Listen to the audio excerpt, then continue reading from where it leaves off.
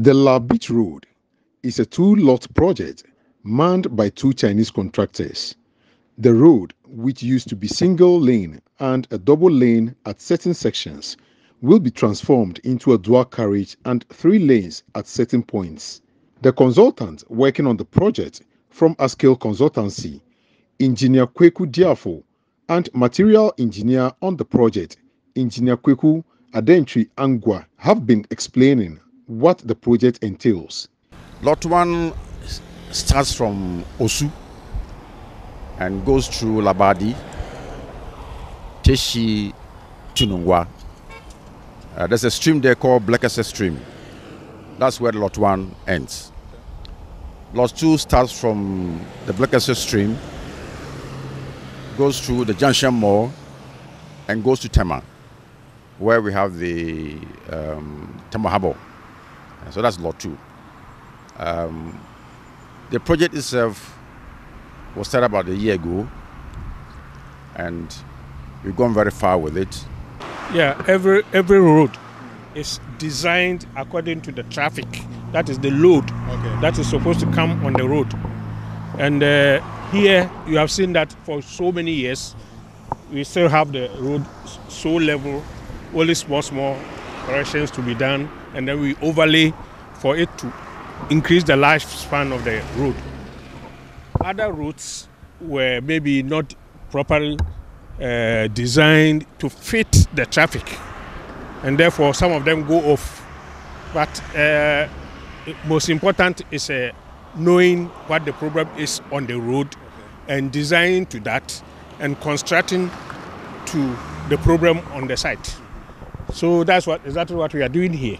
So essentially, there is no product without expiring date. What is the lifespan For- before we even think side, of any supposed to be of? about 25 years Okay. for this uh, for this uh, asphalt road supposed to be 25 years if it is a surface dressing it would have been 15 years Okay. and then the motorway type is uh, 40 years Dozens of houses and businesses will have to be demolished to make way for the dualization of the 26.6 kilometer stretch from Accra to Tema. According to Engineer Diafo, this will cost about $2.5 million in compensation.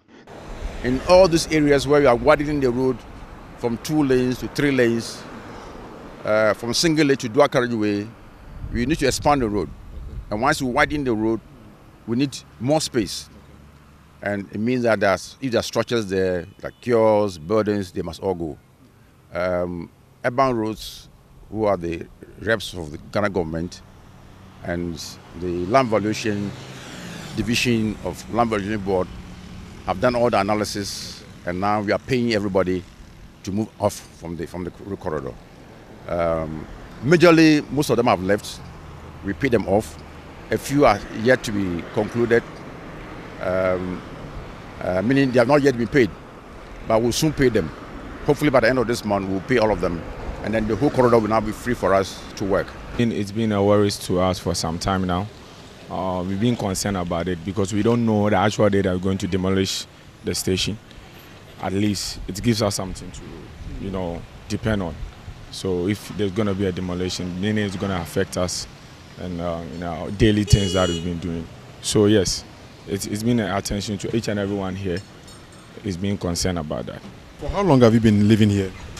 Oh, get it to seven years. And the building is for my dad. So I work in my dad company. So, when this place is demolished, uh, what will be the next place for you? I mean, in terms of work. Oh, we already found a place we are going to work at. It's around Nungwa Market, the same building.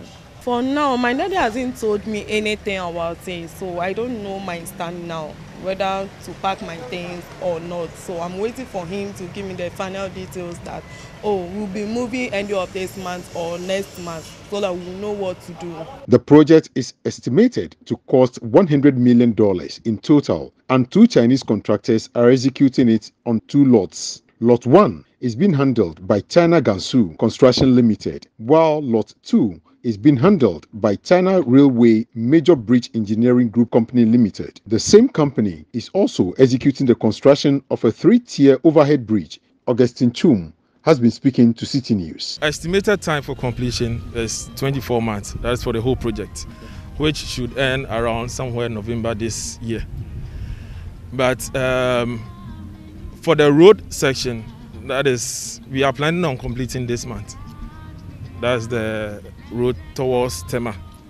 So about 60 to 70 percent of the road works is done. And for the interchange, about 35.3 percent is completed. So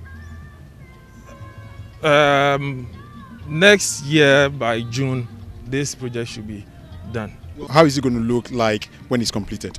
Okay, as you rightly said, it's a three-tier interchange. So we have um, um, an ES bridge. When I say ES, I mean uh, travelers from Nungwa to Tema have a bridge. From Nungwa to Sakumono have the main bridge, and then from Tema also to Nungwa has another bridge.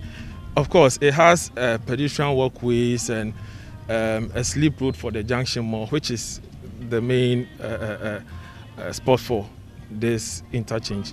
The works, as stated, is being undertaken by the Ministry of Roads with the Department of Urban Roads as the implementing agency. Some drivers who plied the stretch say the work is progressing too slowly.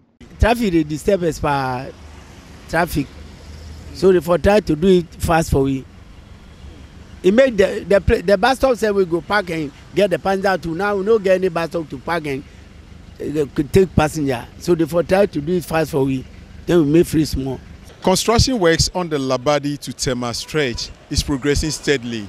The consultant to this particular project tells me that work is almost 40% complete on the lot 1 and almost 60% complete on the lot 2. The lot 2 actually entails a, th a three-tier um, overpass for which we understand would finish in the coming weeks. Essentially, the contractors are hoping to hand over this project roughly by November this year or early next year. My name is Fred Joe reporting from Teshinungwa for Citi News.